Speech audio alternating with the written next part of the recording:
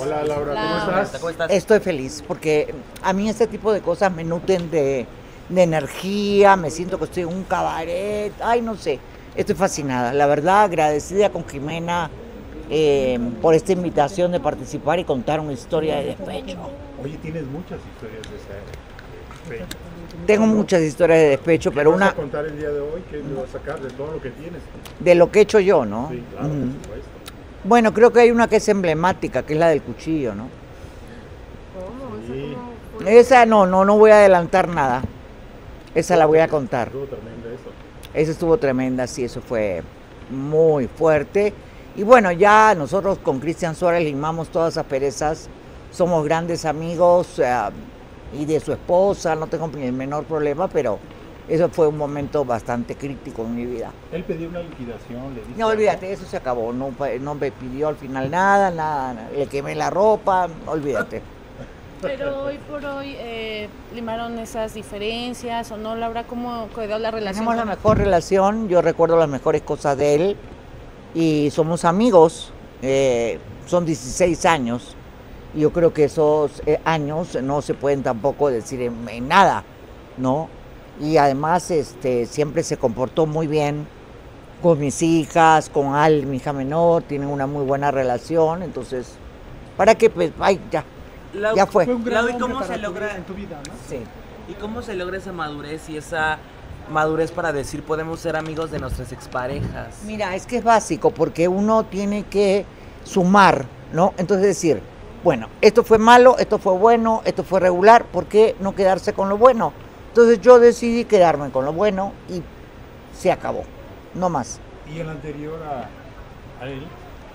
¿Cómo te fue con el anterior? Bueno, he tenido varias cosas este, bastante locas en mi vida, pero prefiero ya eh, contar esta nomás, porque ya si empiezo a contar todo lo que le he hecho a mi ex marido, al papá de mis hijas, también lo... La verdad que yo he sido muy tóxica y sumamente, eh, Tormentosa. No, absorbente, temperamental. Yo soy así como me ven, tal cual. La No, que men- no disimulo. la ahorita que mencionas esto, ¿consideras que al- actualmente las relaciones sí tienen fecha de caducidad? ¿Ya no existen las relaciones de seremos felices para siempre? Pueden haber relaciones, seremos felices para siempre. Pueden. Cuando se conectan personas que realmente eh, suman y no se restan. Cuando la pareja te suma, te da, te aporta, son parejas que van creciendo. Yo veo eso mucho en mi hija Victoria con su marido, con Adam, que es como mi hijo. Los dos trabajan en muchas cosas juntos, eh, se aportan, se aportan. Entonces cuando tú tienes eso y ese respeto y toda esa magia de la pareja, puede durar toda la vida.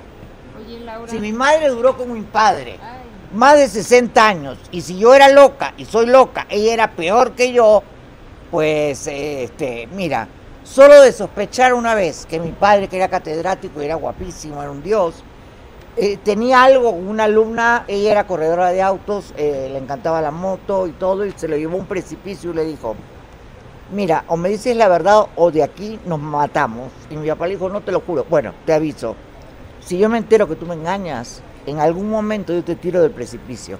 O sea, imagínate, de ahí vengo yo. Ya se imagina. Es terrible eso. Mi mamá era, tenía un carácter muy complicado, pero si tú la manejabas, era una maravillosa persona. Maravillosa. Oye Laura, pero ahorita ya estás amándote sin pareja porque vemos que estás muy bien, que te estás haciendo tus arreglitos, Estoy feliz. Estoy contenta, tengo a mis nietos, mis hijas. plena. Me siento plena, tengo muchos proyectos, muchas cosas que, que se vienen, novedades. Entonces esas novedades me hacen... Yo amo mi trabajo, mi trabajo es mi marido, mi amante, es mi todo. Entonces mientras yo tenga trabajo y mi mente esté ocupada, si no está ocupada la cosa se fue a la chingada, pero bueno, cuando está ocupada, eh, crea. Entonces estoy creando muchas cosas que vamos a hacer Pero próximamente. arreglitos con medida, ¿no, Laura? Estoy Porque- hablando de proyectos de televisión. pero ¿Con qué cadena? ¿Podemos saber?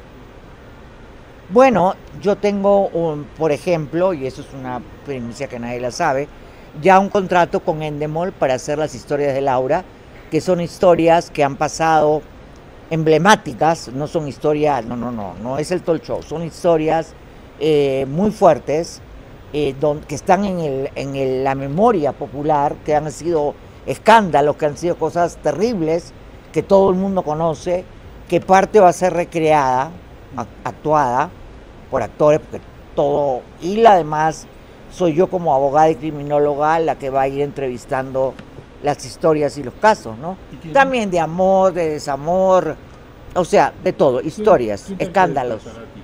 ¿Ah? ¿Quién te interpretará a ti? No, no, no me estás entendiendo, no es actuada.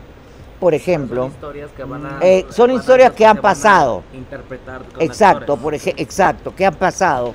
Son historias como la de Carla, en la del presidente de Argentina, eh, lo de Toledo de Perú, son historias, escándalos que yo voy a entrevistar, o muertes, ¿me entiendes?